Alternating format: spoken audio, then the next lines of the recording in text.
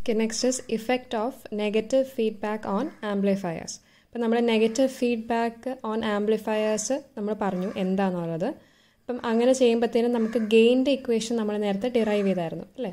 അപ്പം ഗെയിന്റെ ഇക്വേഷൻ എന്താ കിട്ടിയ? ഗെയിൻ വിത്ത് ഫീഡ്ബാക്ക് അതായത് എ എഫിന്റെ equation A by one plus A beta okay അപ്പം A by one plus A beta അപ്പം ഫീഡ്ബാക്ക് ഇല്ലായിരുന്നെങ്കിൽ നമ്മുടെ ഗെയിൻ എന്ന് പറയുന്നത് എ ആണ്. ഓക്കെ. പക്ഷെ നെഗറ്റീവ് ഫീഡ്ബാക്ക് വെച്ചപ്പം എന്ത് സംഭവിച്ചു?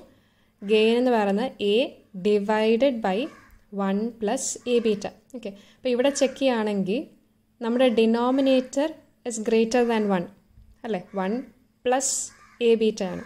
ഓക്കെ അപ്പം ആഡ് ചെയ്യാണ്. അപ്പം നമ്മുടെ ഡിനോമിനേറ്റർ ഗ്രേറ്റർ ദാൻ വൺ ആകും.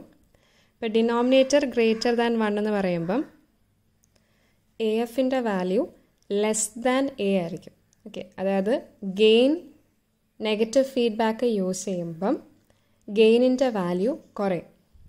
Okay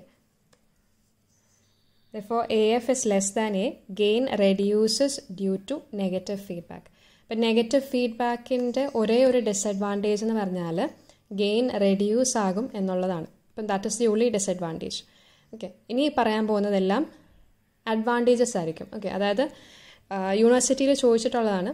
യൂണിവേഴ്സിറ്റി ക്വസ്റ്റ്യൻ ആയിട്ട് what is the effect of negative feedback അല്ലെങ്കിൽ what are the advantages and disadvantage of using negative feedback in amplifiers okay അപ്പം ഒരേ ഒരു ഡിസഡ്വാന്റേജേ ഉള്ളൂ. അതായത് ഗെയിൻ റെഡ്യൂസ് ആകും. ഓക്കെ പക്ഷെ ബാക്കി ഇഫക്റ്റ് എല്ലാം അഡ്വാന്റേജസ് ആയിട്ടാണ് വരാൻ പോകുന്നത്. ഓക്കെ അപ്പോൾ ഗെയിനിന്റെ വാല്യൂ കുറഞ്ഞു പോകുന്നു. പക്ഷെ ഗെയിൻ സ്റ്റെബിലിറ്റിക്ക് എന്ത് പറ്റും എന്ന് നോക്കാം. Okay A F equal to A by one plus A beta ആണ്. Suppose if A beta is much greater than one ഈ വണ്ണിനെക്കാട്ടിലും എ ബീറ്റയുടെ വാല്യൂ ഒത്തിരി വലുതാണെങ്കിൽ I can approximate it into A by A beta okay one plus A beta എന്ന് പറയുന്നത് A beta ആയിട്ട് approximate ചെയ്തു. എയും എയും ക്യാൻസൽ ചെയ്യുമ്പോൾ വൺ ബൈ ബീറ്റ വന്നു. Okay that is overall gain of feedback amplifier overall gain അതായത് A F doesn't depend on gain of the amplifier ഈ ഇക്വേഷനിൽ എ ഇല്ല. അപ്രോക്സിമേറ്റ് ഇക്വേഷനാണ് പറയുന്നത്. അതിൽ എ എന്ന് പറയുന്നത് ടേം ഇല്ല but depends only on feedback factor okay അപ്പം ഈ ഫീഡ്ബാക്ക് ഫാക്ടർ എന്ന് പറഞ്ഞാൽ നമ്മുടെ ഫീഡ്ബാക്ക് നെറ്റ്വർക്കിൽ യൂസ് ചെയ്യുന്ന കമ്പോണൻസിനെ ഡിപ്പെൻഡ് ചെയ്യും. ഓക്കെ നമ്മൾ നേരത്തെ തിയറി പറഞ്ഞപ്പോൾ പറഞ്ഞായിരുന്നു നമ്മുടെ ഫീഡ്ബാക്ക് നെറ്റ്വർക്കിന്റെ അകത്ത് കൂടുതലും റെസിസ്റ്റേഴ്സ് ഇൻഡക്റ്റേഴ്സ് കപ്പാസിറ്റേഴ്സ് ആണ് യൂസ് ചെയ്യുന്നത്. അതിൽ ഏറ്റവും കോമൺ ആയിട്ട് യൂസ് ചെയ്യുന്നത് റെസിസ്റ്റേഴ്സ് ആണ്. ഓക്കെ. അപ്പം ബീറ്റ ഇപ്പം നമ്മുടെ ഫീഡ്ബാക്ക് നെറ്റ്വർക്കിൽ റെസിസ്റ്റേഴ്സ് ആണെന്ന് പറഞ്ഞു. So beta depends on passive elements such as resistors. Okay. പക്ഷേ ഈ റെസിസ്റ്റേഴ്സ് എന്ന് പറയുന്നത് they are usually insensitive to temperature and other variations. So gain is stabilized. Okay ടെമ്പറേച്ചറിൽ ചെറിയ വേരിയേഷൻ ഉണ്ടെങ്കിലും ഒത്തിരി വേരിയേഷൻ ഇല്ല. ഓക്കെ നോർമലി ഒത്തിരി വേരിയേഷൻ ഇല്ല. അപ്പോൾ അങ്ങനെ വരുമ്പോഴത്തേനും ഗെയിൻ സ്റ്റെബിലൈസ് ആകും എന്ന് പറയുന്നു. ടെമ്പറേച്ചറായിട്ട് അല്ലെങ്കിൽ വേറെ വേരിയേഷൻ കാരണം നമ്മുടെ ബീറ്റ മാറാത്തത് കൊണ്ട് ബീറ്റ എന്ന് പറയുമ്പോഴത്തേനും ഫീഡ്ബാക്ക് നെറ്റ്വർക്കിന്റെ ഫാക്ടറാണ് ഓക്കെ അത് മാറാത്തത് കൊണ്ട് ഗെയിൻ സ്റ്റേബിളായിട്ട് നിൽക്കുന്നു. ഓക്കെ അപ്പം ഇതാണ് one of the advantages effect of negative ഫീഡ്ബാക്കിന്റെ advantage gain is getting stabilized with negative feedback okay ഇനി അടുത്തതെന്ന് പറയുന്നത് സെൻസിറ്റിവിറ്റി ഓക്കെ ഇപ്പോൾ സെൻസിറ്റിവിറ്റിയുടെ equation എന്തുമായിരുന്നു sensitivity equal to D A F by A F by D A by A അതായത് one by one plus A beta എന്ന് derive ചെയ്തായിരുന്നു. Okay ഇപ്പം ഇവിടെ ഈ ഇക്വേഷൻ ഞാൻ റീഅറേഞ്ച് ചെയ്യുകയാണെങ്കിൽ D A F by A F അവിടെ തന്നെ ഈ ഡിനോമിനേറ്ററിനെ ഞാൻ റൈറ്റ് ഹാൻഡ് സൈഡിലോട്ട് കൊണ്ടുവരുന്നു. അപ്പം ഇക്വേഷൻ എനിക്ക് D A F by A F equal to ഇത് റൈറ്റ് ഹാൻഡ് സൈഡിൽ D A by A into one by one plus A beta okay അപ്പം that is variation in gain with feedback is much smaller than variation in gain without feedback. Okay, the variation is reduced by the factor 1 plus a beta. Okay, അപ്പം ഈ D A F by A F എന്ന് പറഞ്ഞാൽ variation in gain with feedback ആണ് okay D A by A എന്ന് വെച്ചാൽ variation in gain without feedback okay അപ്പോൾ ഗെയിനിലുണ്ടാവുന്ന change കുറവാണ് നമ്മൾ ഫീഡ്ബാക്ക് യൂസ് ചെയ്യുമ്പോൾ കാരണം D A by A into one by one plus A beta അപ്പം ഈ ചേഞ്ചിനെ ഡിവൈഡ് ചെയ്യാണ് വൺ പ്ലസ് എ ബീറ്റ കൊണ്ട്. Okay so this variation is reduced by the factor one plus A beta okay so that is an advantage നമ്മുടെ ഗെയിനിന്റെ variation നമുക്ക് കുറയ്ക്കാൻ പറ്റും when we are using negative feedback okay reduced by a factor of one plus A beta next എന്ന് പറയുന്നത് bandwidth ആണ്. Okay ബാൻഡ് വിഡ്ത്തിന്റെ കേസിൽ നമുക്കറിയാവുന്നൊരു കാര്യം for an amplifier gain bandwidth product is constant okay ഇത് നിങ്ങൾ നേരത്തെ മൊഡ്യൂളിൽ പഠിച്ചായിരുന്നു. ഗെയിൻ ബാൻഡ് വിഡ്ത്ത് അതായത് A into bandwidth gain bandwidth product constant ആണെന്ന് പറഞ്ഞായിരുന്നു. ഓക്കെ അപ്പം let A and B W be the gain and bandwidth of the amplifier without feedback feedback ഉണ്ടെങ്കിൽ ഗെയിന് എ എഫും bandwidth B W F suffix F ആണ് represent ചെയ്തിരിക്കുകയാണ് okay ഇപ്പം gain bandwidth product constant ആണെന്നാണല്ലോ പറയുന്നത്. Okay gain bandwidth product constant എന്ന് പറയുമ്പം A into B W will be equal to A F into B W F okay ഇപ്പം feedback ഇല്ലാത്തപ്പോഴുള്ള gain bandwidth പ്രോഡക്റ്റും feedback ഉള്ളപ്പോഴുള്ള gain bandwidth പ്രോഡക്റ്റും constant ആയിരിക്കും. കാരണം gain bandwidth product is constant okay അപ്പം നമ്മൾ സ്റ്റാർട്ടിങ്ങിൽ ഫസ്റ്റ് പോയിന്റ് തന്നെ നമ്മൾ പറഞ്ഞതെന്ന് വെച്ചാൽ നമ്മുടെ gain is reduced by a factor of one plus A beta അതായത് എ എഫിന്റെ equation A by one plus A beta okay അപ്പം ഇവിടെ ഞാൻ സബ്സ്റ്റിറ്റ്യൂട്ട് ചെയ്യാൻ പോവാണ് എ എഫിന് ഓക്കെ അല്ലെങ്കിൽ റീഅറേഞ്ച് ചെയ്യാം. B W F is equal to A into B W divided by A F ഇനി എ എഫിനെ സബ്സ്റ്റിറ്റ്യൂട്ട് ചെയ്യുക A by one plus A beta okay അപ്പോൾ ഇക്വേഷൻ എന്ത് വരും? എയും എയും ക്യാൻസൽ ആവും. വൺ പ്ലസ് എ ബീറ്റ ന്യൂമറേറ്ററിലോട്ട് വരും. ഇപ്പോൾ B W F is equal to one plus A beta into bandwidth okay അതായത് ബാൻഡ് വിത്ത് വിത്ത് ഫീഡ്ബാക്ക് എന്ന് പറയുന്നത് bandwidth without feedback into one plus A beta okay അപ്പം എന്ത് മനസ്സിലാക്കാം? ഈ ബാൻഡ് വിഡ്ത്ത് ഫീഡ്ബാക്ക് ഉള്ളപ്പോഴുള്ള ബാൻഡ് വിഡ്ത്ത് ഇൻക്രീസ് ആകുന്നു by a factor of one plus A beta okay അപ്പോൾ one plus A beta times increase ആകും. Okay so bandwidth increases ഇപ്പോൾ bandwidth increase ചെയ്യാന്ന് പറഞ്ഞാൽ വേറെ രീതിയിൽ പറഞ്ഞാൽ ഫ്രീക്വൻസി റെസ്പോൺസസ് ഇമ്പ്രൂവ്ഡ് നമ്മുടെ ഫ്രീക്വൻസി കർവ് ഒക്കെ വരയ്ക്കുമ്പോഴത്തേനും കൂടുതൽ റേഞ്ചിൽ ബാൻഡ് വിഡ്ത്ത് എന്ന് പറയുമ്പോൾ കൂടുതൽ റേഞ്ചിൽ ഗെയിന് കോൺസ്റ്റന്റ് ആയിട്ട് നിൽക്കുന്നു. ഓക്കെ അതായത് ഫ്രീക്വൻസി റെസ്പോൺസസ് ഇംപ്രൂവ്ഡ് അപ്പം ഇതാണ് ബാൻഡ് വിഡ്ത്തിനെ പറ്റി. ഇനി അടുത്തത് ഡിസ്റ്റോഷൻ ഓക്കെ അപ്പം സ്റ്റാർട്ടിങ്ങിൽ തന്നെ പറഞ്ഞൊരു കാര്യം എന്ന് വെച്ചാൽ നെഗറ്റീവ് ഫീഡ്ബാക്ക് യൂസ് ചെയ്യുമ്പം ആകപ്പാടെ ഉള്ളൊരു ഡിസഡ്വാന്റേജ് എന്ന് വെച്ചാൽ gain is reduced by a factor of one plus A beta okay gain reduce ആകുന്നു. അത് മാത്രമേ ഡിസഡ്വാന്റേജ് ഉള്ളൂ. ഓക്കെ ബാക്കി എല്ലാം അഡ്വാന്റേജ് ആണ്. ഓക്കെ അപ്പോൾ ഡിസ്റ്റോഷൻ എന്ന് പറയുമ്പോഴത്തേനും നമുക്ക് വേണ്ടാത്തൊരു സാധനമാണ് അല്ലേ? ഡിസ്റ്റോഷൻ നമുക്ക് വേണ്ട. നമ്മുടെ ഔട്ട്പുട്ട് വേവ് ഫോമിൽ ഡിസ്റ്റോഷൻ വേണ്ട. അപ്പോൾ നമ്മുടെ നെഗറ്റീവ് ഫീഡ്ബാക്ക് യൂസ് ചെയ്യുമ്പോഴത്തേനും ഡിസ്റ്റോഷൻ കുറയും. ഓക്കെ അങ്ങനെ അഡ്വാന്റേജ് വരുന്നത്. ഓക്കെ ഓർത്തിരിക്കാൻ എളുപ്പത്തിനാണ് distortion okay a large signal stage has non linear distortion which is reduced by a factor one plus A beta when negative feedback is used അതായത് നമ്മുടെ distortion with negative feedback എന്ന് പറയുന്നത് കുറയും. It is reduced by a factor of one plus A beta അതായത് divided by one plus A beta എന്ന് പറഞ്ഞ് വരും. Okay കുറയാന്ന് വെച്ചാൽ distortion without feedback by one plus A beta okay അപ്പോൾ distortion is reduced by a factor of one plus A beta അതുപോലെ തന്നെ അടുത്തെന്ന് പറഞ്ഞാൽ നോയ്സ് ഓക്കെ അപ്പം നോയ്സ് നമുക്ക് വേണ്ടാത്തൊരു കാര്യമാണ്. അപ്പം നോയ്സും ഇതുപോലെ തന്നെ റെഡ്യൂസ് ആകും.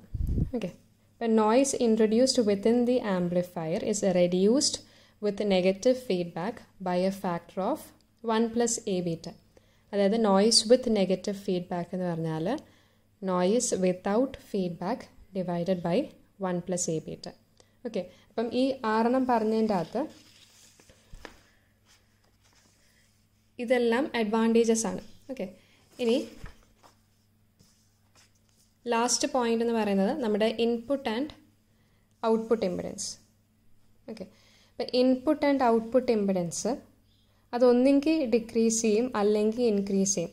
ഓക്കെ പക്ഷേ ഇൻക്രീസ് ചെയ്യുന്നത് അല്ലെങ്കിൽ ഡിക്രീസ് ചെയ്യുന്നത് by a factor of one plus A ആണ്. ഓക്കെ അപ്പോൾ ഇൻക്രീസ് ചെയ്യുകയാണെങ്കിൽ ഇമ്പിഡൻസിനെ മൾട്ടിപ്ലൈ ചെയ്യുക വൺ പ്ലസ് എ ബീറ്റ വെച്ചിട്ട് ഇമ്പിഡൻസ് ഡിക്രീസ് ചെയ്യുകയാണെങ്കിൽ impedance with feedback will be equal to impedance without feedback divided by decrease ആണെങ്കിൽ divided by one plus A beta. Okay. അപ്പം നമ്മൾ ഇൻപുട്ട് ഇമ്പിഡൻസും ഔട്ട്പുട്ട് ഇമ്പിഡൻസിന്റെയും കാര്യമാണ് പറയാൻ പോകുന്നത്. Okay.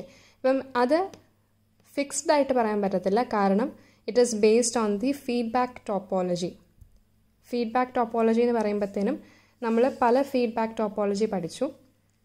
Voltage series feedback voltage shunt feedback current shunt feedback current series feedback okay അപ്പം നമ്മൾ പഠിച്ചപ്പോഴത്തേനും നമുക്കറിയാം ഈ ഫസ്റ്റ് വേർഡ് ഉദ്ദേശിക്കുന്ന ഔട്ട്പുട്ടിലെ കണക്ഷന് അല്ലേ? വോൾട്ടേജ് അല്ലെങ്കിൽ കറണ്ട് എന്ന് പറയുമ്പോഴത്തേനും ഔട്ട്പുട്ടിലെ കണക്ഷന് അപ്പം അത് ഔട്ട്പുട്ട് ഇമ്പിഡൻസിനെ ആയിരിക്കും ഡിപ്പെൻഡ് ചെയ്യാൻ പോകുന്നത്. ഈ വോൾട്ടേജ് കറണ്ട് വെച്ചിട്ട് എനിക്ക് ഔട്ട്പുട്ട് ഇമ്പിഡൻസിന്റെ കാര്യം പറയാൻ പറ്റും. ഓക്കെ ഇനി ഈ രണ്ടാമത്തെ ടേം നമ്മൾ രണ്ടാമത്തെ ടേം എന്ന് പറയുന്നത് നമ്മുടെ ഇൻപുട്ട് സൈഡിലെ കണക്ഷനാണ് പറയുന്നത്. അല്ലേ? അപ്പം ഇൻപുട്ട് സൈഡിലെ കണക്ഷൻ എന്ന് പറയുമ്പോഴത്തേനും നമുക്ക് ഇൻപുട്ട് ഇമ്പിഡൻസിന്റെ കാര്യം ഈ സെക്കൻഡ് ടേം വെച്ചിട്ടായിരിക്കും പറയാൻ പോകുന്നത്. ഓക്കെ ഇനി നമുക്ക് വേറൊരു കാര്യം നിങ്ങൾക്കൊരു ബേസിക് ആയിട്ടുള്ളൊരു കാര്യം അറിയാമെന്ന് വെച്ചാൽ നമുക്ക് രണ്ട് റെസിസ്റ്റേഴ്സ് ഉണ്ടെന്നുണ്ടെങ്കിൽ ഓക്കെ രണ്ട് റെസിസ്റ്റേഴ്സ് ഉണ്ട്.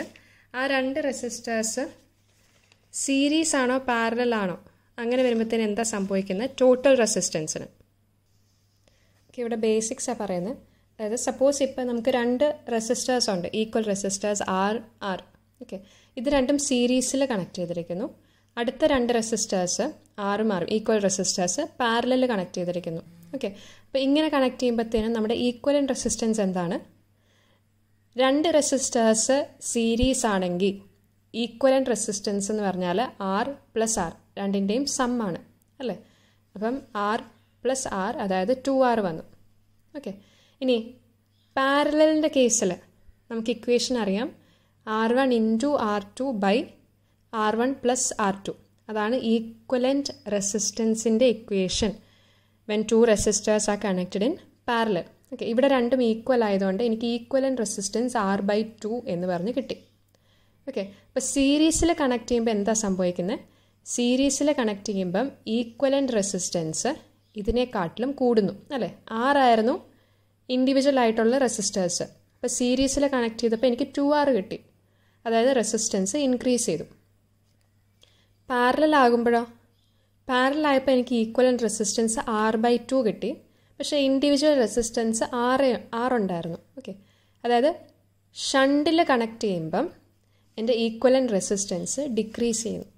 ഓക്കെ അപ്പം ഈ ഒരു കൺസെപ്റ്റ് അറിയാമെങ്കിൽ നമുക്ക് ഇൻപുട്ട് ഇമ്പിഡൻസും ഔട്ട്പുട്ട് ഇമ്പിഡൻസും ഇൻക്രീസ് ആണോ ഡിക്രീസ് ആണോ ചെയ്യുന്നതെന്ന് പറയാൻ പറ്റും. ഓക്കെ ആദ്യമേ നമുക്ക് ഈ ഇത് നോക്കാം. Series shunt shunt series okay ഇത് ക്ലിയർ ആയിട്ട് പറയുന്നുണ്ട് ഏത് കണക്ഷൻ ആണെന്നുള്ളത്. അപ്പം ഇത് സെക്കൻഡ് വേർഡ് എന്ന് പറയുന്നത് ഇൻപുട്ട് സൈഡിലെ കണക്ഷനാണ് അല്ലേ? സീരീസ് ഷണ്ട് എന്ന് പറയുന്നത് ഇൻപുട്ട് സൈഡിലെ കണക്ഷനാണ് ഓക്കെ അപ്പം ഈ ഇൻപുട്ട് സൈഡിലെ കണക്ഷൻ സീരീസ് ആണെങ്കിൽ റെസിസ്റ്റൻസ് ഇൻക്രീസ് ചെയ്യും. ഷണ്ട് ആണെങ്കിൽ റെസിസ്റ്റൻസ് ഡിക്രീസ് ചെയ്യും. ഓക്കെ അപ്പോൾ സീരീസ് ആവുമ്പം ഇൻപുട്ട് ഇമ്പിഡൻസ് ഇൻക്രീസസ് സീരീസ് ആണെങ്കിൽ ഇൻപുട്ട് ഇമ്പിഡൻസ് ഇൻക്രീസസ് ഷണ്ട് ആണെങ്കിലോ?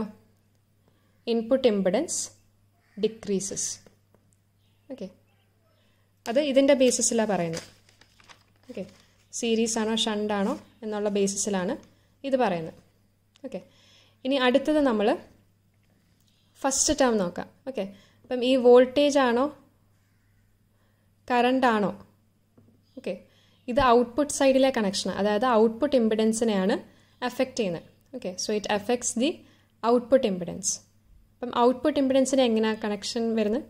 അല്ല ഔട്ട്പുട്ടിൽ എങ്ങനെ കണക്ഷൻ വരുന്നത്? വോൾട്ടേജ് എന്ന് പറഞ്ഞപ്പോൾ നമ്മൾ ഷണ്ടായിട്ടാണ് കണക്ട് ചെയ്തത് അല്ലേ?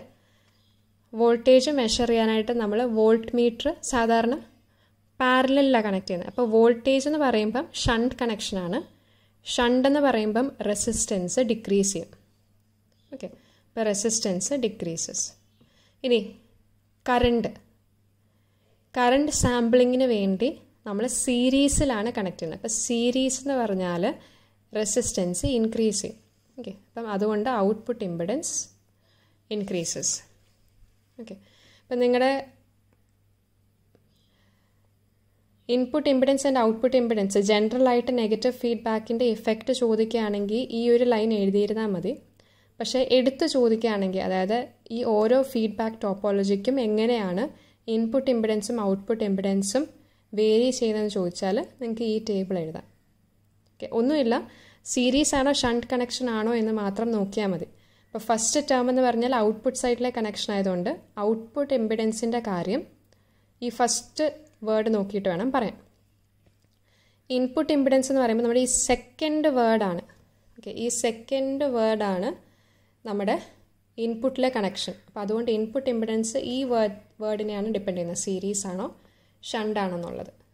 ഓക്കെ അപ്പം ഈ ഒരു ബേസ് വെച്ചിട്ട് നിങ്ങൾക്ക് ഇൻപുട്ട് ഇമ്പിഡൻസ് ഇൻപുട്ട് ഇമ്പിഡൻസോ ഔട്ട്പുട്ട് ഇമ്പിഡൻസോ ഇൻക്രീസ് ആണോ ഡിക്രീസ് ആണോ എന്ന് പറയാൻ പറ്റും. ഓക്കെ അപ്പോൾ ഇത്രയാണ് effect of negative feedback on amplifier അപ്പം ഈ സെവൻ പോയിന്റ്സിൽ ഫസ്റ്റ് പോയിന്റ് മാത്രമേ ഉള്ളൂ ഡിസഡ്വാന്റേജ് ആയിട്ടുള്ള. ബാക്കിയെല്ലാം അഡ്വാന്റേജ് ആയിട്ട് തന്നെയാണ് വരുന്നത്.